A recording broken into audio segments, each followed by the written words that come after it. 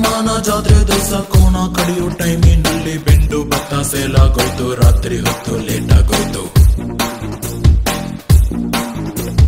ಬೀದಿ ದೀಪ ಆಫ್ ಆಗೋಯ್ತು ಮಾರಮ್ಮಕ್ಕೂ ಬೋರ್ ಆಗೋಯ್ತು